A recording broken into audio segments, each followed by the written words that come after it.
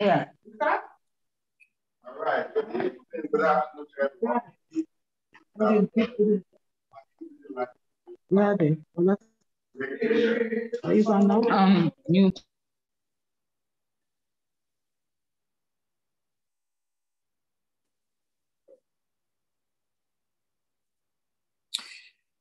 Good afternoon, everyone.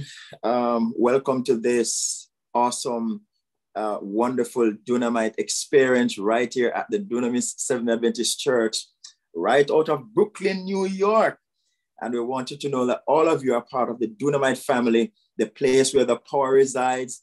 And as my uh, guest or guest today would say, the place where we inspire, motivate, and add value. And we bless God for that. Welcome to this experience. And um, from wherever you're coming from, I know persons are joining us from Canada, all over the United States, the Caribbean, Jamaica, all of where you're coming from, you're at the right place. This is the place where we take evangelism to the new era and indeed change lives in the process. We are delighted to have a powerful, well trained, well experienced guest today. Um, in fact, she's no longer a guest, but she is indeed a part of the Dunamite family.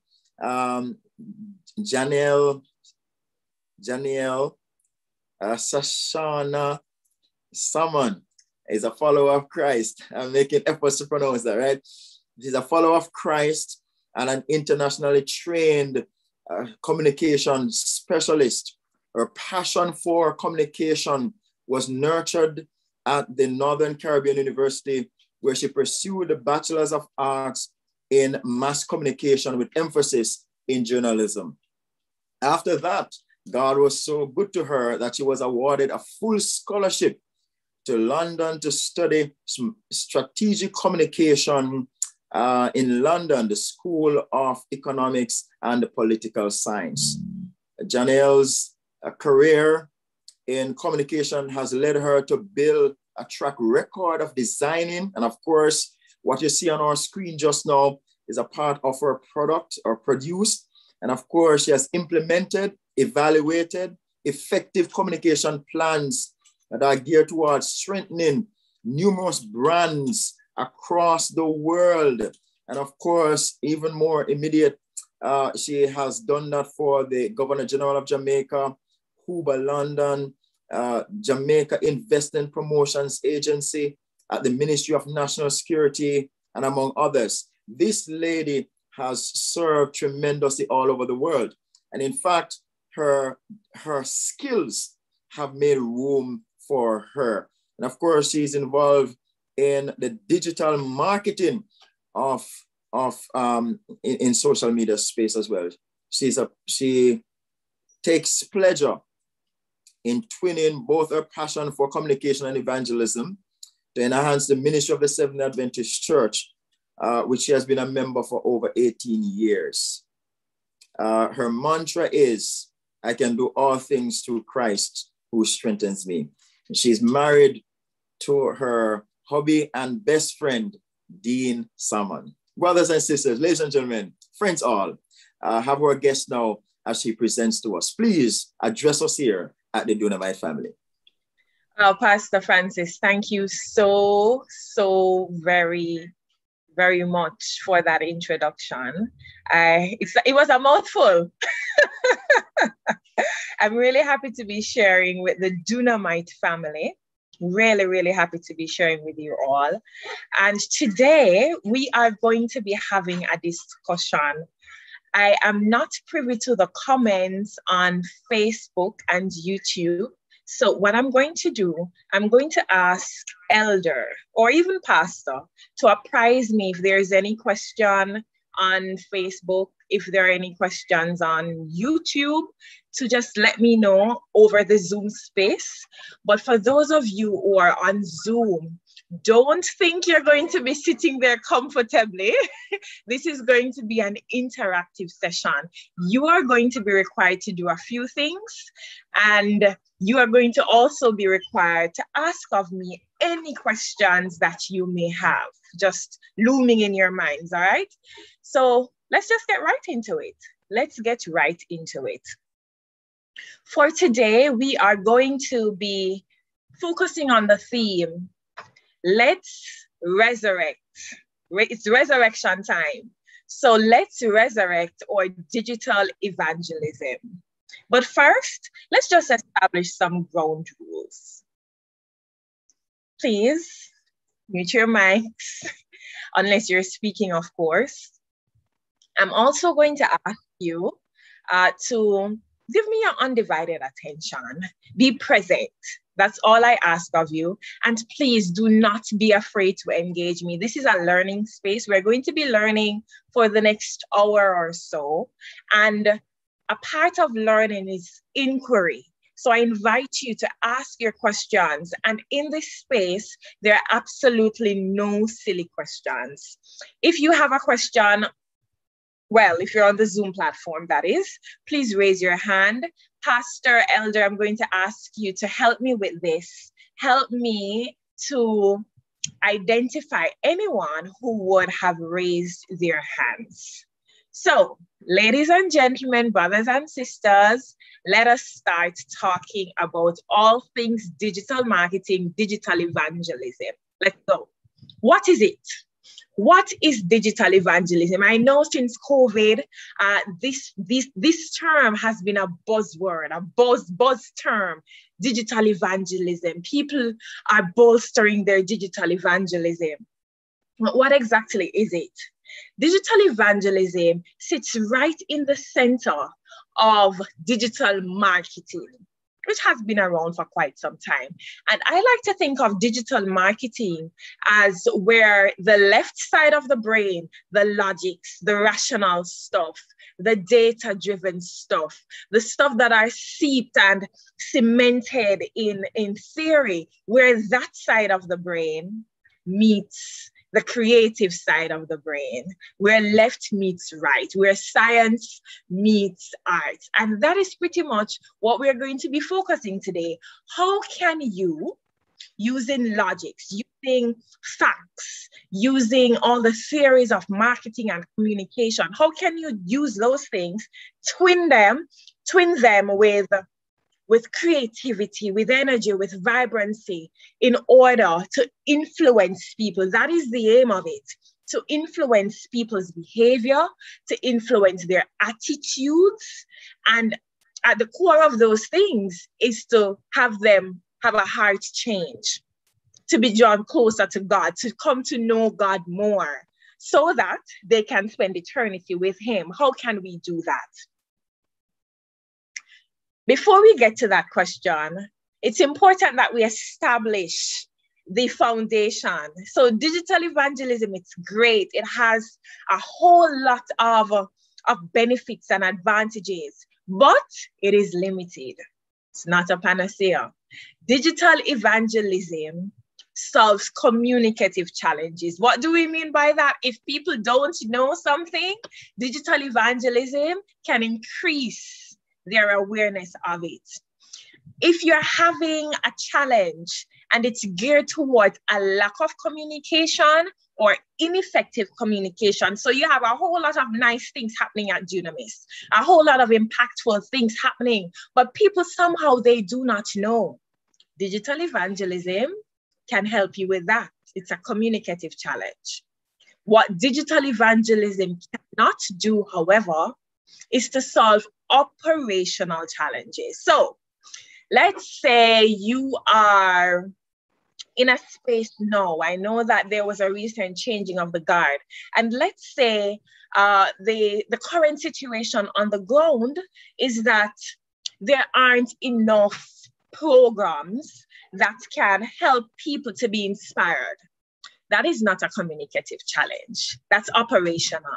Communication can't whip up programs like that.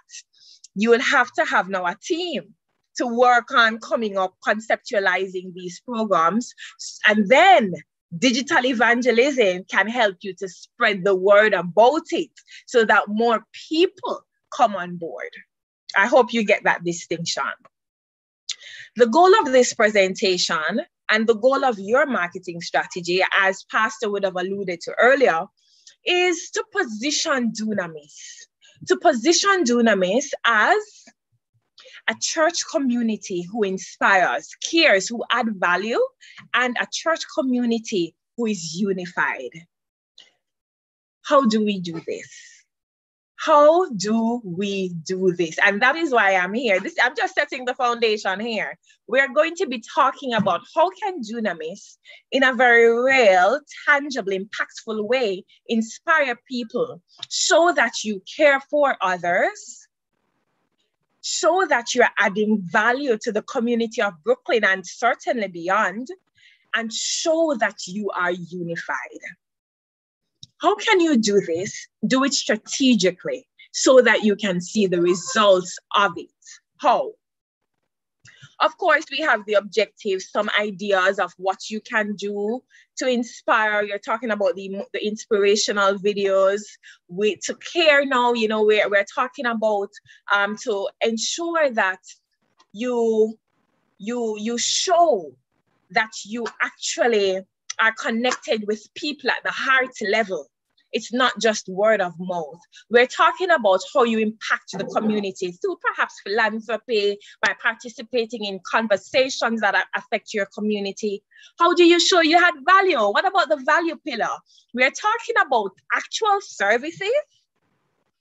We're talking about counseling services, prayer lines, uh, the food basket. How do you add value to your community?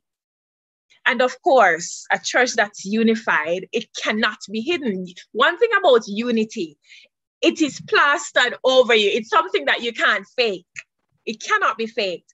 And so, to show that you are a church that is unified, you'd have to sh- do this in a particular way on digital so that it's authentic and people trust it when they see it. We're going to be talking about that in a few still setting the foundation. It's crucial that we do this. Which platforms? We talk about digital marketing. There are tons of digital platforms available to you. At this juncture, you don't want to set your, you don't want to stretch yourselves thin. Absolutely not. So you're already using YouTube, you're already on Facebook, and you are going to start an Instagram page. I'm aware of this. So these these are the platforms you're focusing on. I know you would have already had a presentation on YouTube. So today we are focusing on Instagram and Facebook.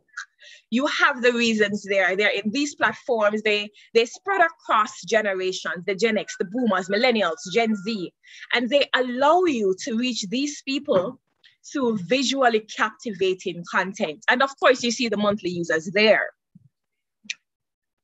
Now we're at the crossroad. We, we are setting the foundation. Let's get into building the building now. We're building. What is the roadmap that we'll, that we'll be using today? Today's roadmap takes into consideration one, branding, two, content, and three, what is your responsibility? What is your responsibility? Branding, content, and responsibility. Let's talk about branding. And this is where I'm going to place my PowerPoint in the editable version. As a matter of fact, I'm going to stop sharing. I'll edit it from my end. Those of you who are on Zoom, it's time to talk to me. Time to talk to me we are talking about branding. When we talk about brand personality, when we talk about brand voice, when we talk about differentiation, when we talk about brand positioning, it's important that we know exactly what these things are. What are they? Let's start with brand personality. I'm going to call on some names now let's see. Elder Harris. Elder Harris, tell me, tell me, Elder, what are some words you would use to describe yourself? He's not present at the moment. All right, so who is speaking to me? Who was that?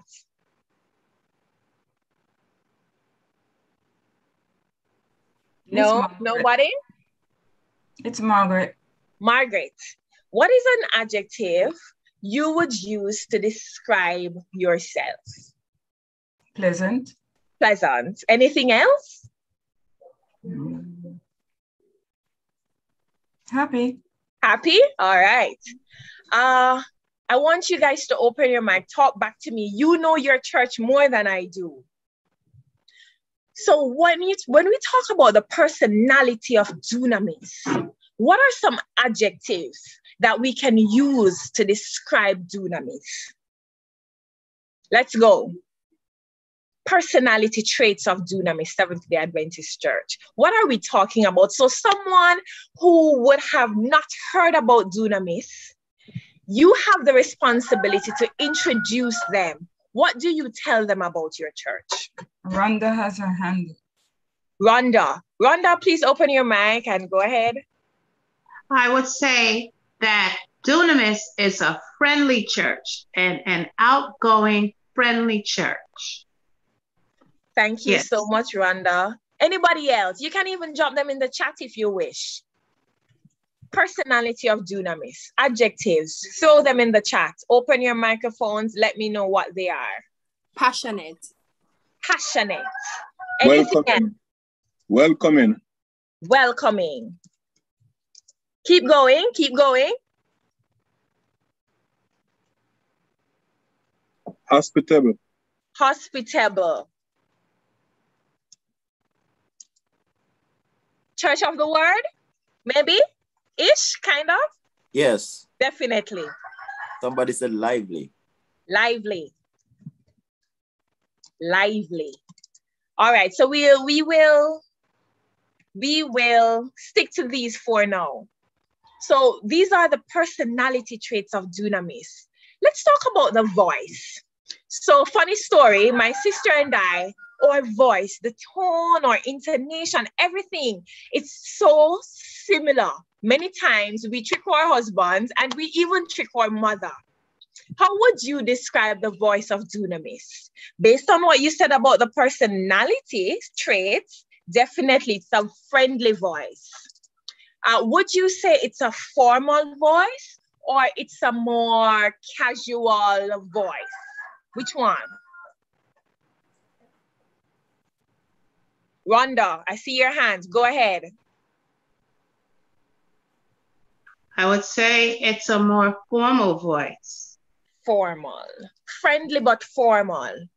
Yeah. Would would you say it's an authoritative voice? I I I would. You yes. would. Mm-hmm. Authoritative.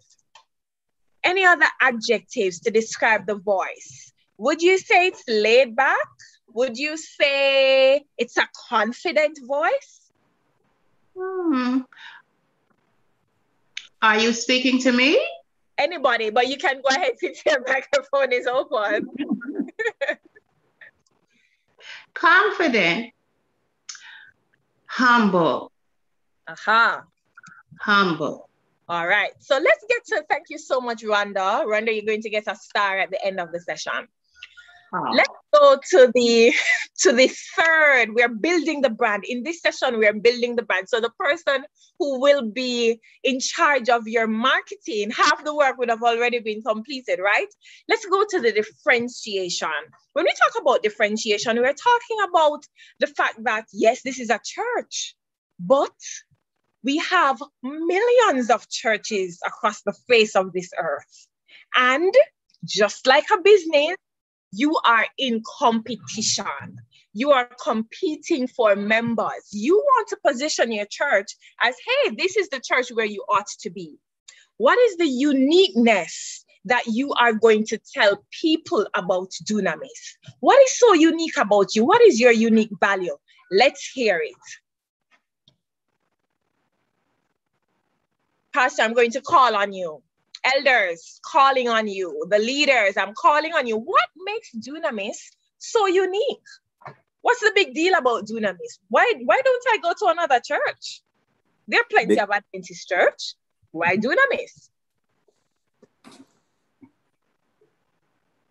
Hello. Because at Dunamis, we, we do not just do programs.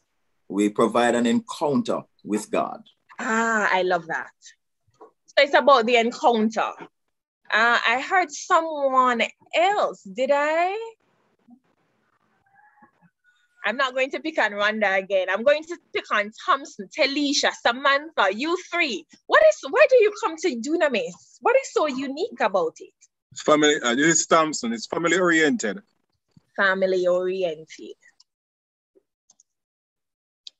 All right. Anybody else? Archer, how about you? Tracy?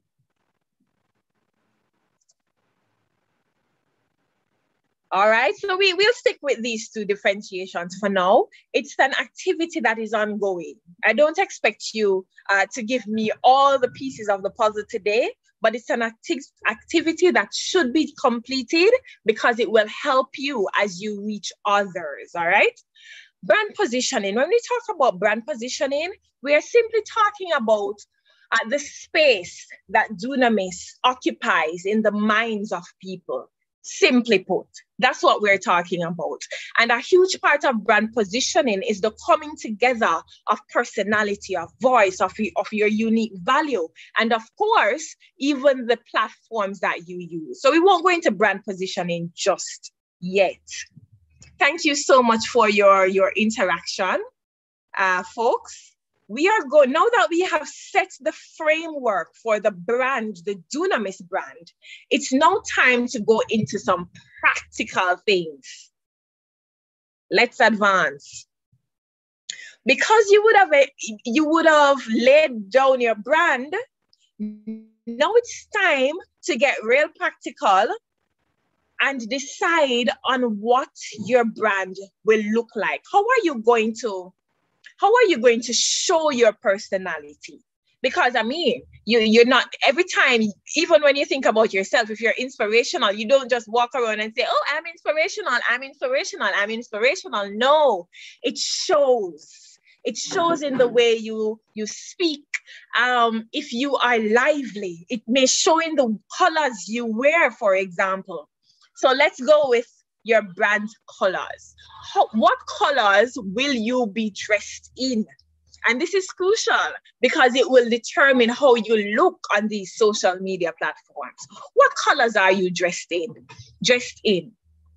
I know that purple is one of your colors and very fitting because there is a rule, there's a whole school called color psychology. And what it does, it tells you that every single color, it's linked to certain moods, certain emotions.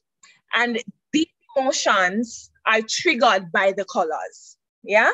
So purple, for example, we're talking, you see spirituality. So it's very fitting. But what I've noticed, especially as I scroll through your, your platform, is that many times you you twin purple with different colors. So for example you'll twin purple uh, with uh, first of all let's talk about purple just for a moment. So you have purple but you use different shades of purple. So you realize that the shades aren't really consistent. In addition to that there are instances based on what i would have observed when you use purple with other colors, complementary colors, of course. But sometimes those colors, it may be white, it may be black, it may be gray, you know, it's not consistent throughout. So in today's session, we are going to talk about your brand color package. How do you ensure that your brand colors aren't just complementary, but they're consistent. So when people see, when people see Puma, they see white, they see black. When people see Google, you know, they're seeing the, the, the yellow, green, red, the primary colors, I believe. When people see Dunamis, what do they see? Here's the equation real quick you would have already decided on your dominant base color. Purple, fine. The next step is to decide on a neutral color. neutral color. We're talking about beige. We're talking about white. We're talking maybe cream. We're talking about black, gray, neutral colors. Decide on that and ensure that every single piece, every single creative that you develop, the color is consistent. In addition to your dominant base color, your neutral color, you may want to throw in an accent color. Maybe you want to to communicate your friendliness. So we have the purple for spirituality. We have the white for, you know, honesty, uh, for simplicity as well. Perhaps your third color could be fuchsia.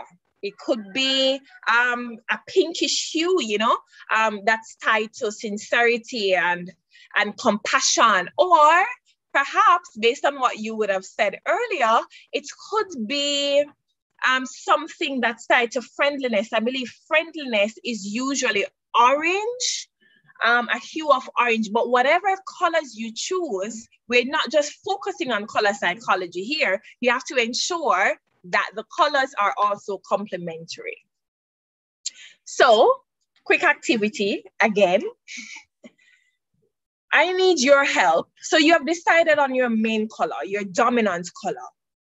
It's now time to decide on the shade. How do you get the shade right every time? I mean, there are tons of purples. How do you know uh, the exact shade of purple? Remember, we're talking about branding here. How does Dunamis dress every day? Yeah. The specific shade of color. How can you know? Pastor and anyone on the comms team, really, I'm going to need your help. This is a real quick hack. How do you ensure that you have the right shade every time? Go to Google. Purple, yeah? We type purple hex code. Every color on the face of the earth is linked to a code. And this code is called the hex code. It's a unique code.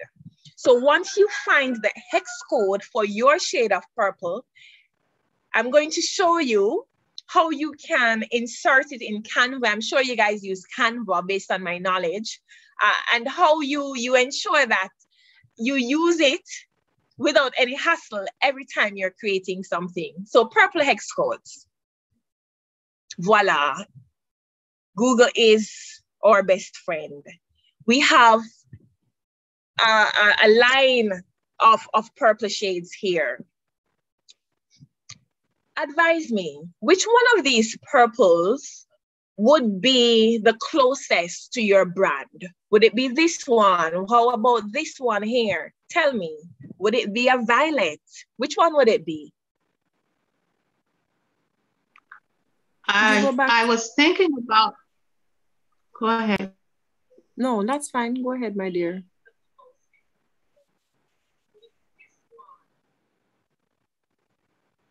Go ahead.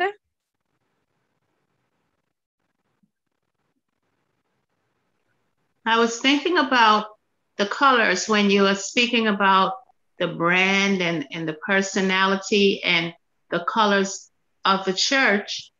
And you mentioned the, the purple and that is the color of the pews in Dunamis. Um, so that to me is the dominant color in Dunamis. The purple, uh, meaning spirituality and royalty and things like that. And then you mentioned that there should be other shades of neutral, like white. And then you said beige or cream. And when you said cream, I thought about the carpet in Dunamis. Perfect. So, uh, I'm just going on, I'm feeding on what you're saying. And then you spoke about other colors. And now I'm wondering, well, how are all of those colors going to fit in the sanctuary? Or are we speaking about the overall color of the church building? Or are we speaking about the colors that the members of will be wearing? Like as far as uniforms. Ah, Like the ushers, we wear uniforms, and our uniforms have different colors.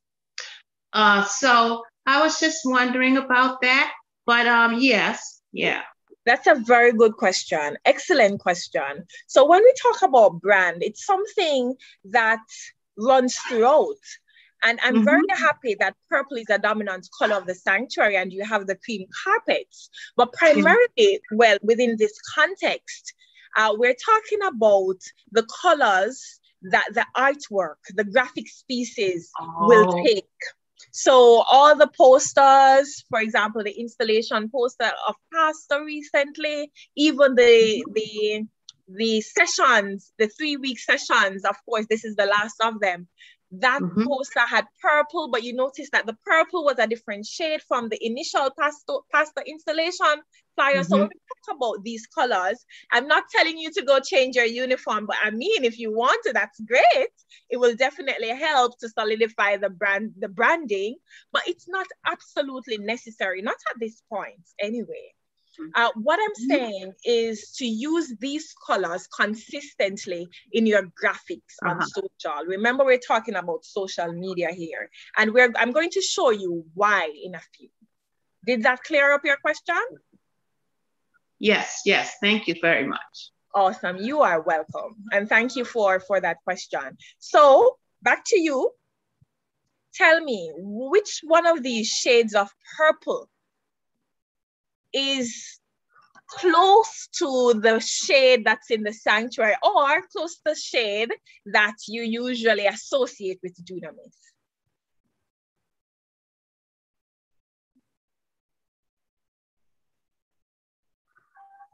I'll have to call on people. No, you don't have to. Um, there the images to the to the left of the screen, that one could not the second one. Okay, the it looks more like the first first shade. Yes, All right, so we have nine, nine and the hex three. code about nine three zero zero double F. Yes, So nine thousand three hundred double F. yes. Let's go over to Canva real quick. Canva, even in the free version, you are able to insert your brand colors so that every time you're creating a flyer, uh, you don't have to try to guess what exactly is your is your is your brand color. You simply load Canva, you're on your home page, and you go to brand kit in the left panel. When you go to your brand kit, you scroll on down. These are my brand colors for my marketing consultancy, salmon, blue, yellow, for specific reasons, of course. But if you want to change it, you simply click on the first box. What was that number? I think it was nine thousand three hundred double F. double F, and voila, it loads. And it's there. Let's go on white. So hex code for white. I'm not seeing my thing properly. All right, so hex code for white. One, two, three, four, five, six. So we have six Fs. So let's change this real quick. One, two, three, four, five, six. And you see it loads right in the top corner, it loads white. And then you'd have to decide on your accent color. I don't know what it will be, all right? When you are creating your designs, we'll see how this works in your favor very, very easily. But for now, let us go back to all things branding. So you have decided on your brand colors based on your color psychology. You have found your hex code for these colors and you've ensured that it's now accessible very easily in Canva. What's next? What else do you consider as part of your branding? Type uh, fonts are very important typography are crucial to your branding. And like color psychology, they send a message. So as you are building your image, building your brand, it's important that you decide on the letters that you will use consistently, similar to your colors. There are a few letters here. Let's go down real quick. When we talk about fonts, typography, we're talking about things like serif. And serif, it's really saying that there are some fonts that have strokes that finishes them off at the end. And you can see those strokes circled. Those are serif. Sans serif simply means that they are without strokes. And you see it here at the bottom uh, of, of their screen. So if you decide that you want to use serif, there is also a psychology attached to it. Remember, based on what we would have said earlier, Dunamis, yes, formal, but trendy, um, traditional, of course, uh, but trustworthy. Serif is an option. Serif is usually used for newspapers, for editorials. It's usually used for fashion in some spaces. It's also used for colleges, for financial companies as well, because it conveys trust, respect, tradition. Sans serif is usually attached to still trust, but instead of a traditional kind of um, twinning tradition with trust, it speaks definitively to twinning trust with modern. You see the difference? So it depends. What do you want to position Dunamis as? Trust, but traditional, or trust, but modern. You know which one to go to. And we have examples of world brands who would have used these two typographies. Doesn't end there. We also have slab serif and slab serif, it pretty much, it pretty much says that, listen, there is a slab somewhere, a bold kind of thick, thick line within the letters. That's the slab, that's why it's called slab serif. It signifies confidence, boldness. And of course, we have the fun uh, kind of typography, display typography, if you want to uh, convey casual, fun, personality, full of vibrancy, you may want to consider a display font. If you want to convey fancy, happy, create, whimsical, creative, then you know you may want to go for the script font. Based on what you would have said earlier, what would be the top two font choices that you would consider for a Dunamis? Based on the branding activity that we went through. The personalities, that's what I'm referring to, the brand personality. Serif and is it sans serif? Sans serif. Well, it's French, sans serif. oh, sans serif. Uh, yes, and then these two are used in usually because it's so easy to read too. You usually use them for your paragraphs. So for the smaller fonts that you'll have in your graphic pieces. For the headlines, of course, you perhaps would want to use sans serif, maybe, and use uh, serif for your paragraph, or you can switch it, depends on what you want for your brand and what you want to communicate. And this is just a recap.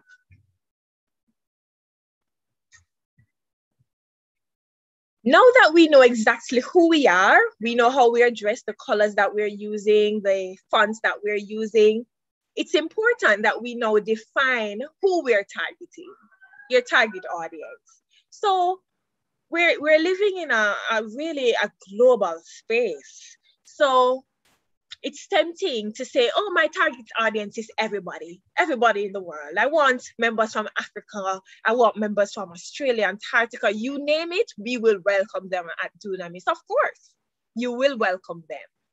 But the truth is, while you will have audience members trickling from other regions from time to time, it's important that you establish your core target it doesn't mean that you are not welcoming of others outside of those outside of the core jurisdictions. No, What it means is that your core emphasis is on these people. Of course, you you are located in Brooklyn, so New York, of course, Brooklyn is going to be your core.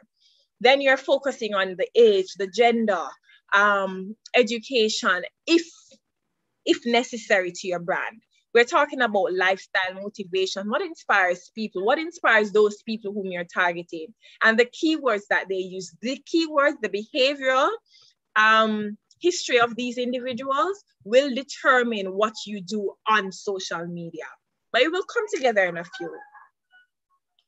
Now that you know who you're targeting, it's important for you to build content that will resonate with them. The four E's. This will help you to ensure that your content is not monotonous.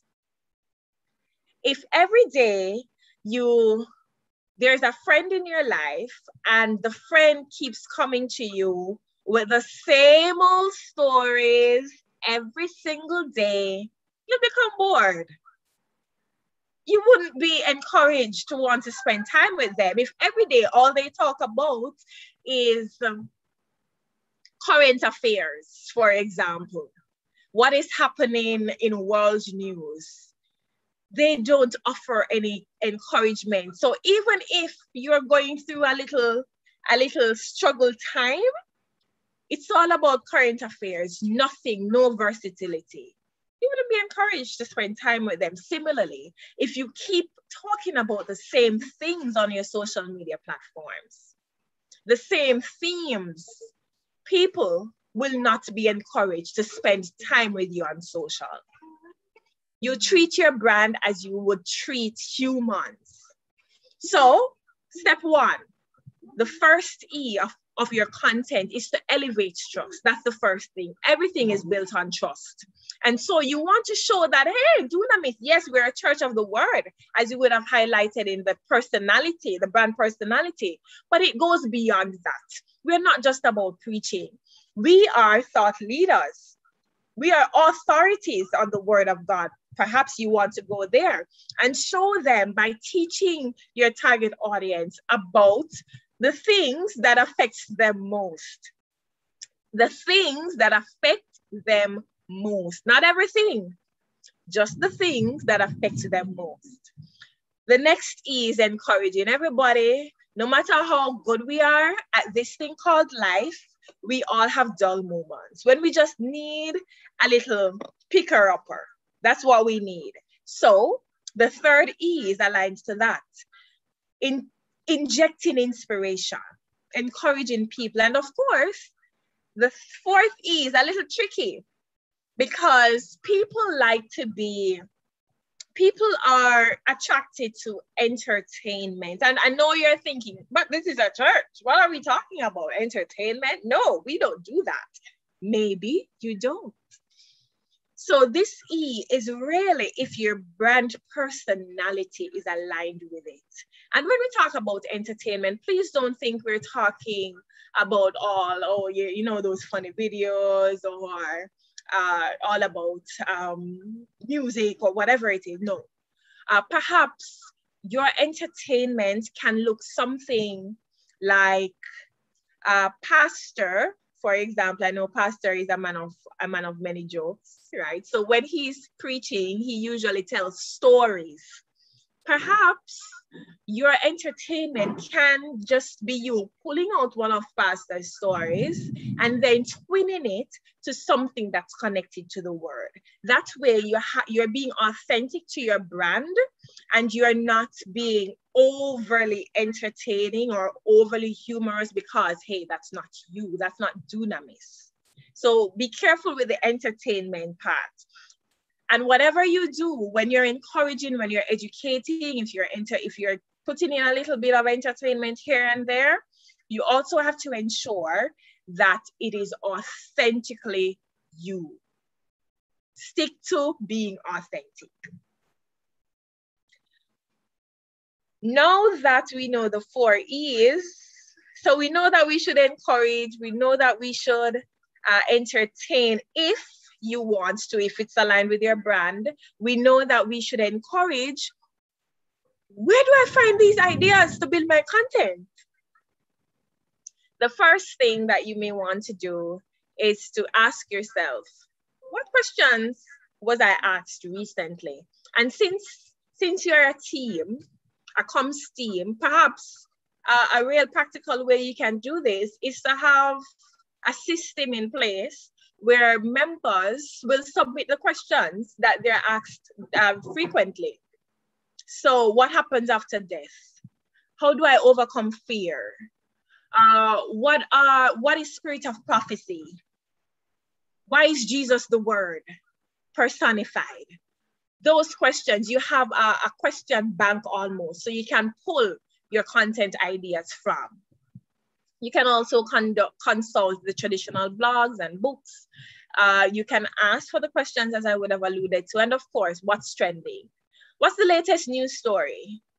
Uh, is it aligned to something that you that that sits within your brand and what you talk about on social? Then of course, if it does, it's your opportunity to jump on it and insert your authoritative voice in the mix.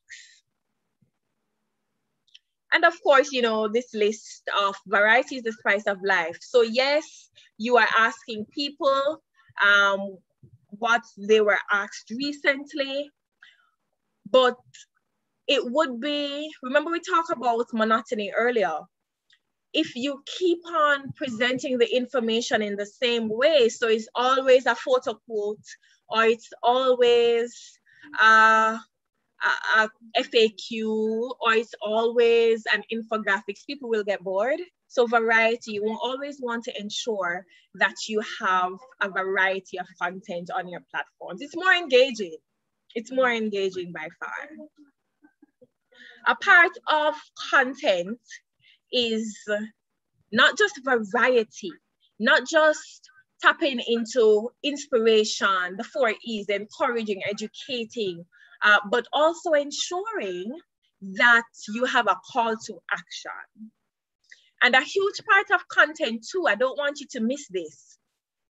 This is a question that I'm often asked, Jan, how can I keep up with creating content? So let's say I post about fear today am I going to have to post overcoming fear today? Do I have to post about um, something totally different every single time?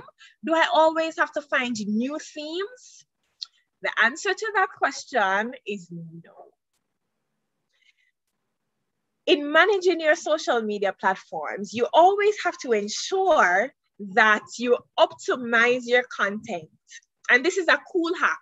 So let's say this week you're focusing on on fear. Today you focused on fear and overcoming fear. That's your broad idea. And you're thinking all right so i talk about fear today. What am i going to talk about tomorrow on social? What create what graphics am i going to create the answer is simple. In optimizing your content, you find different angles. So think about a news story. You find different angles to the same news story. That's what media houses do every time. You take over, you transfer that skills, that skill to social, the space of social media. So open your mics. The theme is fear. Big, broad fear. What are the various angles you could take fear so that you have a variety of content on your social and you don't have to think about changing your theme every day. Tell me, fear. What is an angle of fear that you could take? Somebody, anybody? Maybe, All right, let me start off. Overcoming fear. Okay, go ahead. Yeah, maybe we could take it from the angle, maybe fear personified. So fear is basically telling us how it affects us All right. or how it So- goes. Mm-hmm. All right. So one piece could be five steps to overcoming fear.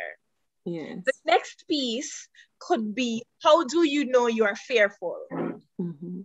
A third piece could perhaps be uh, how do you how what did you say? How how is fear personified? Yes, yes. Yes, that could be Or- the third piece.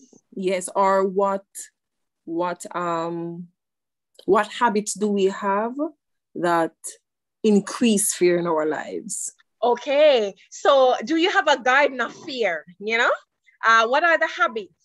Are you are you nurturing fear? How to know that you're nurturing fear? Uh, five things that people who are fearful keep saying to themselves. We just listed about six content ideas. So that is how you ensure that you have a variety of content without always having to think, all right, so I already spoke, did a post on fear last week, and I really can't do anything on fear for the next few months. No, as long as you optimize it, then you're good to go. Because, and it's not just a hack, it's really about how humans, how we uh, digest information.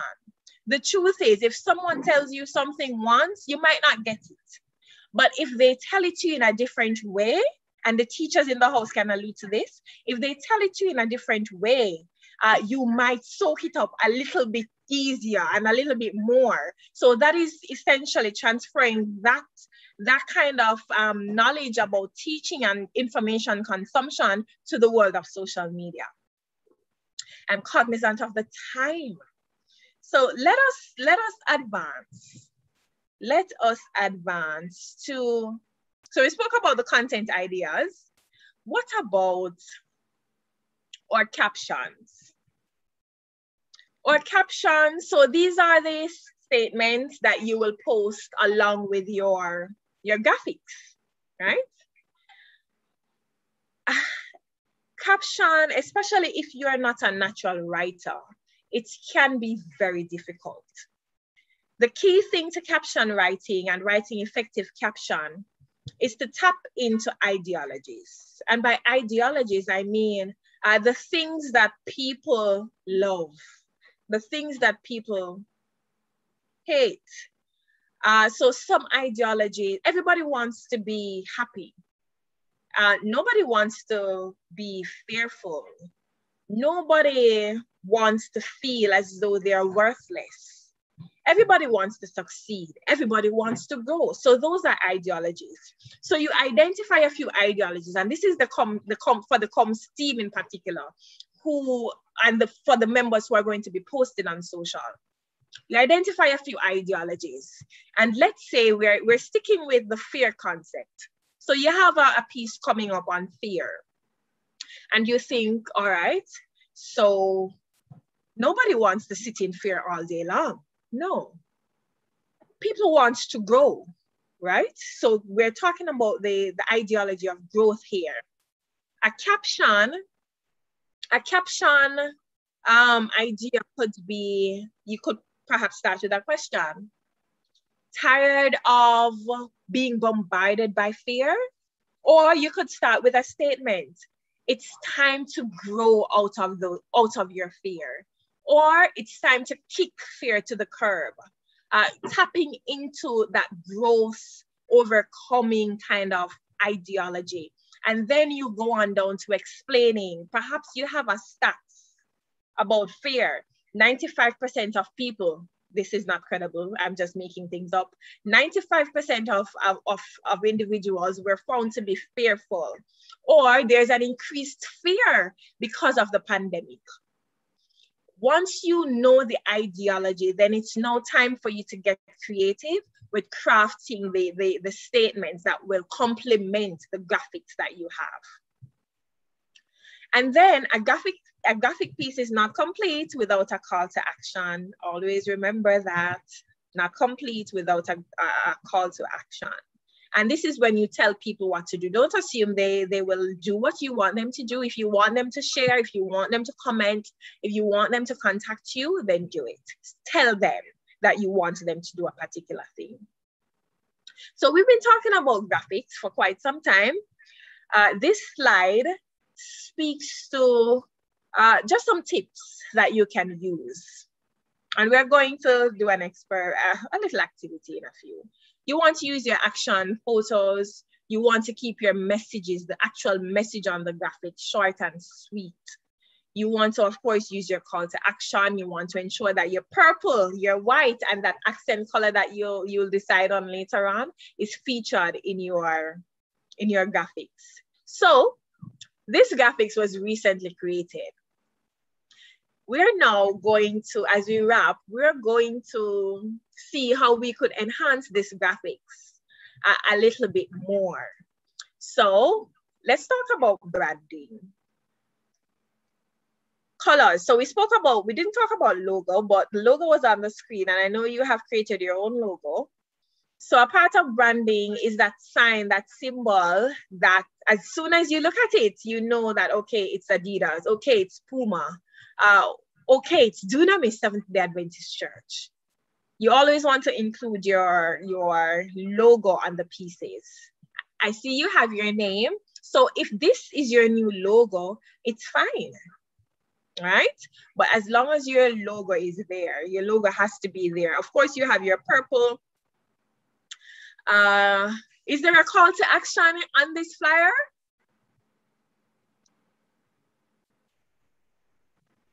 Call to action. Remember your call no, there's none. There's, There's none. none. There is none. So that's one way we could enhance this flyer. So I see you have uh, the address here, you have the, the Facebook stuff, but what do you want people to do with them?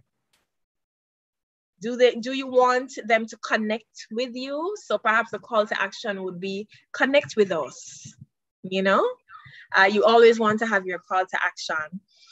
Uh, of course, you have your your uh, quote here. You have your pastor. Let's see how we could enhance this a little tips more, just a little tips.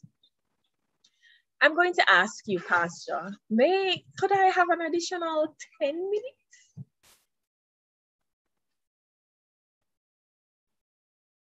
Absolutely, absolutely, absolutely. Yeah? All right, thank you. So let's go on to the, the creation of the, of the actual flyer real quick. All right, so let's go back to Canva. So we already have our our branding colors here, brand colors. So for Canva, oops, let me move this over here. The first thing you want to do is to create your design, right? Let's say it's an Instagram post, for example. Remember, we are recreating that flyer. So we have the image of Pastor folding his arms, right? Based on what we said here, action photos are the best, usually. Unless it's for an installation or it's a profile pic, of course, you know, your standard images would be okay. Uh, but for a photo quote, uh, you want to see how you can capitalize on an action photo. And the, the reason is simple it triggers emotion. It's, it, it helps, it draws people in a little bit more than the usual profile pic or something like that. So with that information, let's go, let's go back to Canva. And we're going to find another picture. I pounced upon this picture while I was preparing for you.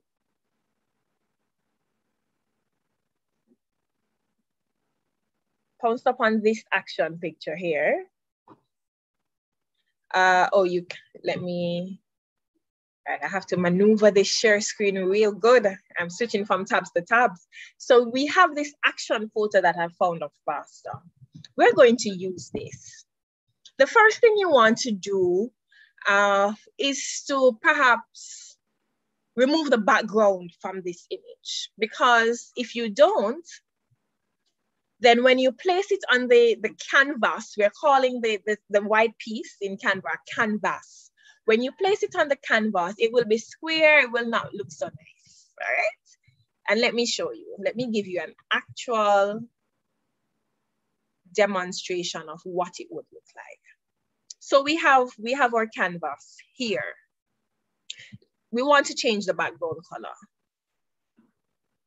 Remember the brand colors that we had inserted in Canvas? Instead of trying to search where they are, they're right here. You don't have to search. By the click of a button, it appears. So we place Pastor's image there. With this background, it looks, it's not clean. So you may want to remove the background. Here's a cool hack. Remove background. So you go to, this is my, my tool that I always use. Remove background from image, you load it, you upload your image, we have pastor here. Voila, the background is gone. Background gone, we download our image. We open it just to ensure that it's all good. We copy, and when we paste it in Canva this time,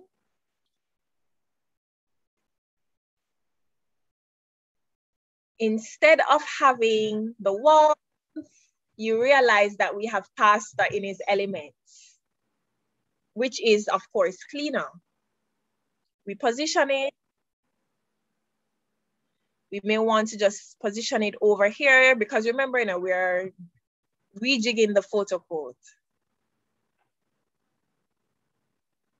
We want to do it here. We want to position it to the right because he is pointing to the left. With this, we have quite a bit of space to insert the actual quote that he's going to, that we are going to insert. How do we do this? We insert text. By this time, you would have known what your, your brand, your brand font is. So pastor said,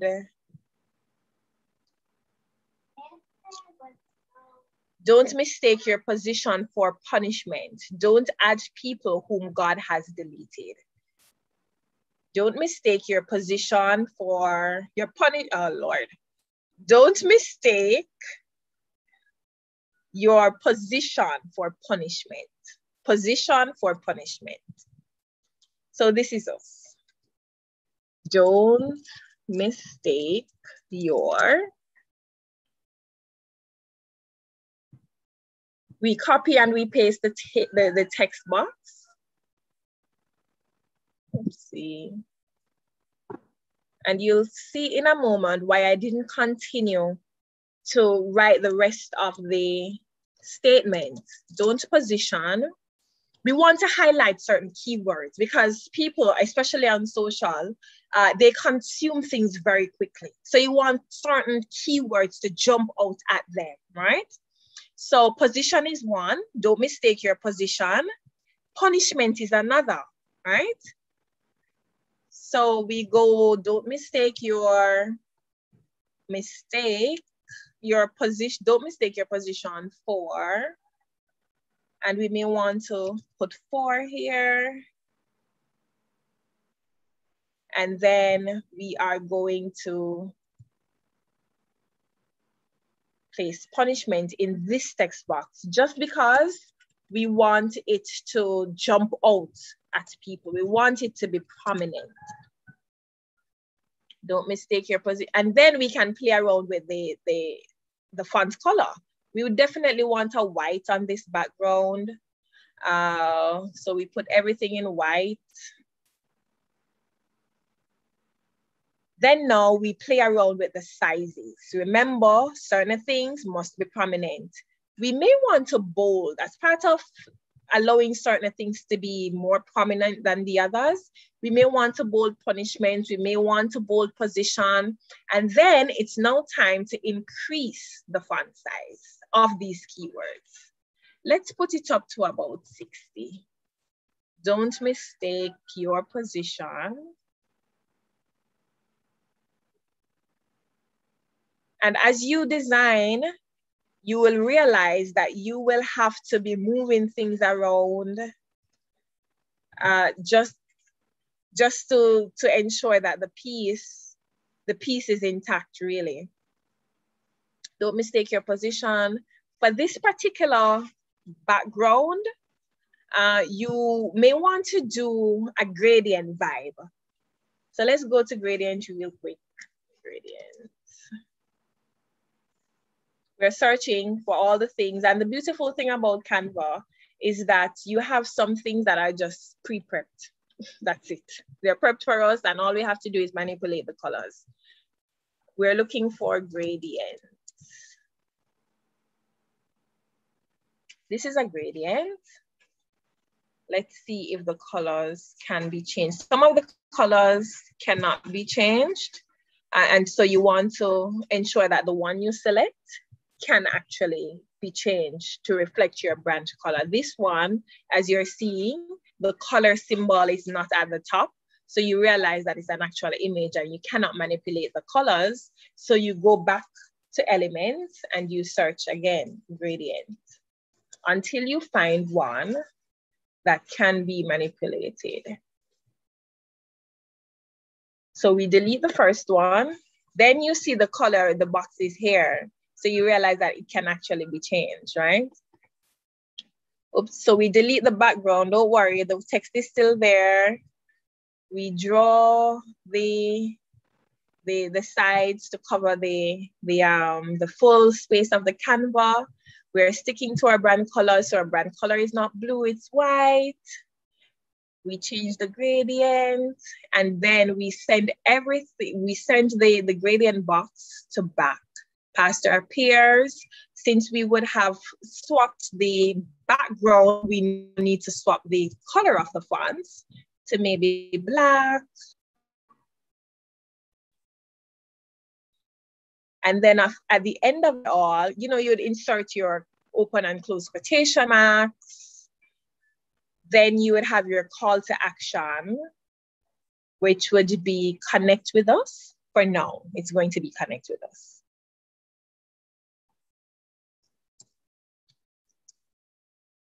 We are going to reduce the size. Oopsie. Reduce the size of the call to action. We don't need it to be bigger than the, the quote at all. We Don't need it to be that small either. Connect with us. You may want to include a button and place it behind. And by button, what I mean is that is that um, shape that usually, well, you'll see it in a moment. this button here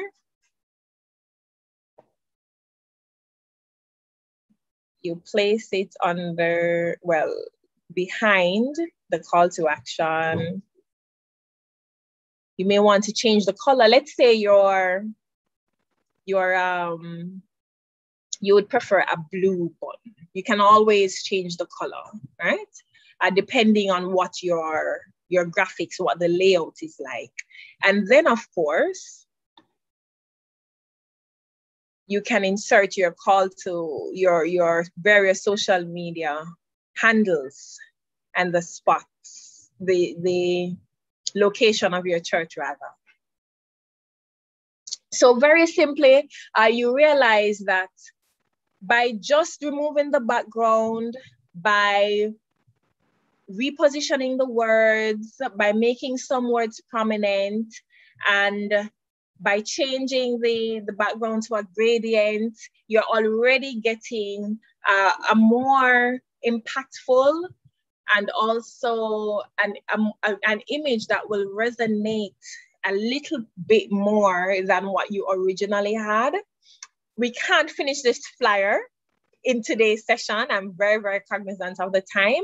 I just wanted to show you what using big, bold letters can do don't feel that you have to stick to the same font size. So there is a, a, quote and you, you have to ensure that all the words in the quote are the same sizes. You do not have to. It's all about what would jump out at your target audience because remember they're scrolling. So you want to put something in front of them that in one glance they can see pos- position and punishment and go, oh, what is this about?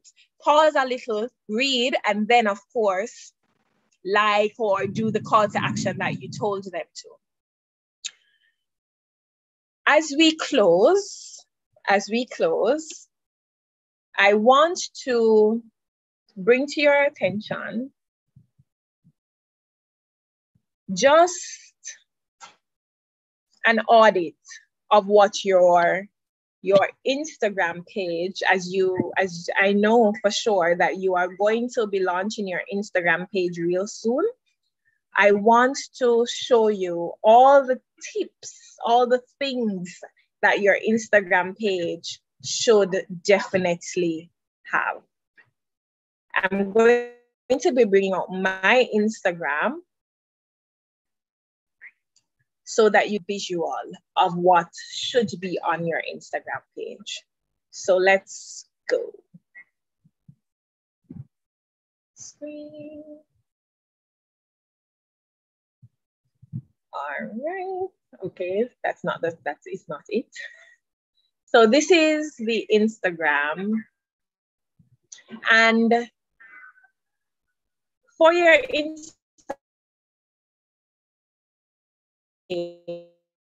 you want to ensure you, of course, have the name, the name of your, your Instagram, right? Ensure that it's to your brand. So it has to include Dunam and it has to include Seventh day Adventist, whether the abbreviated form SDA or spelling it out, right?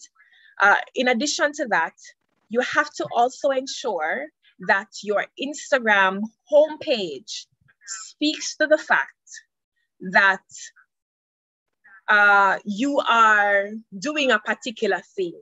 So, what are the keywords?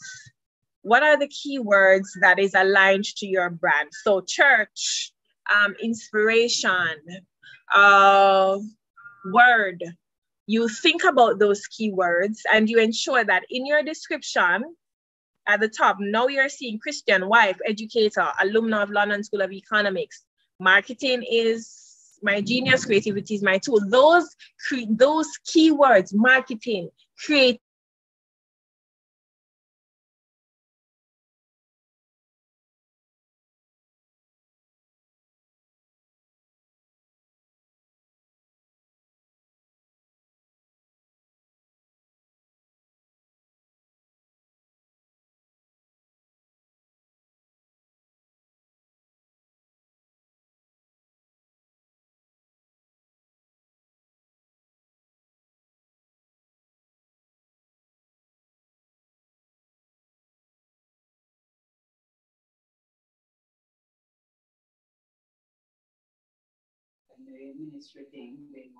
All right, ladies and gentlemen, it seems as though we're having a little technical difficulties with our presenter.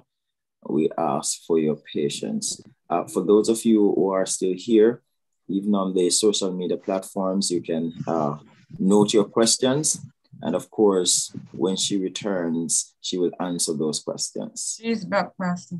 Okay. Sorry about that. I had uh, a pause in connecting activity there. Um, this is the last thing we're going to be talking about. So let's go back to the Instagram page. I believe I was at the profile picture. So your profile picture, you want to ensure that it's something clear. Um, you want to capture perhaps an image, perhaps an image of your church. Perhaps you want to include the, the logo maybe of your church that you would have created. In addition to that, you also want to ensure that even in your bio, there's a call to action. A call to action uh, that tells people what exactly you want them to do. So, do you want them to contact you? My call to action, as you can see, is follow for tips. I want you to follow me for marketing tips. Your call to action could maybe be contact us for Bible study.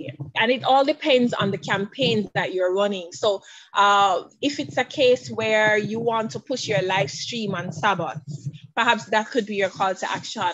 If it's a case where you want to build your contact database, contact us would be your call to action. So it all depends on what you want to do. In addition to that, you also want to ensure that you have your story highlight. And let me scroll on down. So one of my story highlights is marketing tips. You want to highlight certain stories that you that you upload. And by stories, I mean those those creatives that you i'm sure everybody's on whatsapp everybody might not be on instagram but everybody's on whatsapp. It's similar to your whatsapp status just on instagram right? And usually you use these kinds of of um, content for quick updates for quick behind the scenes. So you're going out in the in the field to do a prayer walk. You want to show that you know it's basically current information so things that are going on now that you would post on your status right so you want to ensure that the stories you have your story highlights. Your story highlights, of course, you can add you can add multiple. So one story highlight could be uh, Bible study. One could be community outreach. One could be inspiration. And so when persons come on your page, they can simply click the highlight and it will take them through the various stories that you would have uploaded. And of course, um, bring them up to speed on what exactly you've been up to and what exactly you've been sharing. The reason you need to create, to decide on your brand color is this. For Instagram, and there's a debate about um, color scheme, you want to ensure that your colors are consistent throughout your timeline by by deciding and identifying your brand colors this is what you are achieving on your social. Everything is consistent.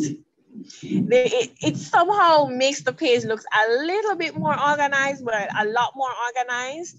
And that is what you want to communicate as well.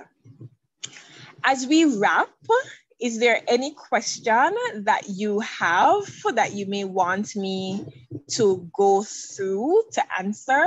I'd be more than happy to do that now. If not, then thank you for listening and thank you for indulging me. I know I went um, a little bit over time, but thank you for your patience, your attentiveness, and over to you, Pastor. Thank you so much. Thank you so much. I appreciate uh, your candid and wonderful, succinct, and expert uh, presentation today. We were blessed um, to have had you. And of course, I particularly like the fact that you not only lectured, but you also demonstrated and walked us through, model the way. And they say modeling will always produce a better learning circumstance. So thank you again. Um, I don't know if any of our friends here, or family members, would have any comments, any questions that uh, you would want to post or pose to our presenter. Anyone? Um, if, if, if there's any on YouTube as well, we could take those or Facebook if there are any. Okay. All right. So thank you so much, uh, Sister Salmon. Uh, thank you for, for your time and your expertise. And I want you to know that when you see our flyers, my installation flyer, the fixing focus flyer, the evangelism in the new era flyer, those are her uh, babies she indeed designed those flyers, and we're grateful for her expertise to this church. She has been so kind to us, whereas we would have to pay a lot of money for those. She has been kind so far, and we bless God for that. Thank you so much, everyone, for joining us on YouTube, on Facebook, uh, on Zoom. We want you to know that you are precious to us, you are important to us. We love all of you. And we wanted to know that we are here to serve you in any way possible. Reach out to us um, at our Facebook page uh, or leave a message in our YouTube. We will serve you in whatever way. Our numbers are there. Reach out to us and we'll be happy to serve you. Uh, did you want to say something else, um, Janiel? Just one thing. We didn't talk about everybody's responsibility. So we have the top team doing all of these magnificent things that at Dunamis. But in order for the message to be promulgated, every single member of the church has a responsibility and that responsibility is to share the content that that is posted everything that is posted on your social media platforms you have a part to ensure that it reaches your friends and your friends friends and that is how you will not just reach new york or brooklyn but reach the entire world that was crucial i had to put that in because many times the comms team is working hard, but the, the support is not being garnered from the members. So everybody has a part to play. That's excellent. it. Excellent, excellent, excellent. And we cannot overemphasize that. Um, and of course, I know that the Dunamite family, we have been doing some of that, but uh, with this training, we will regroup and do much better as we get the message of God to the world, encircling the globe with the message of Jesus soon coming. All right. Thank you so much. Thanks again, um, Mrs. Salmon, for being here, for presenting, for guiding us, and for being our expert today. Thanks to all of you who join us on Facebook, as I said before, YouTube, uh, those of you in Zoom, wherever you're from. I know persons are watching from out of Canada as well and all over. We bless God for you. And we ask you to join us on uh, Sabbath as we continue our fixing focus. And then for the month of November, we'll be doing more training at 3.30. Uh, we'll be going into our spiritual encounter, our deliverance part of our training. And next week, Sabbath afternoon, around this time, Dr. Edley Benoit will be teaching us how to fight in the spiritual realm and how to see deliverance and blessings from God, how to tap into the resources of heaven through connection with God. You cannot afford to miss it. And we have a lineup for you. Can't afford to miss it. Stay tuned to this place because this is where the power resides. God bless you. Have a great afternoon.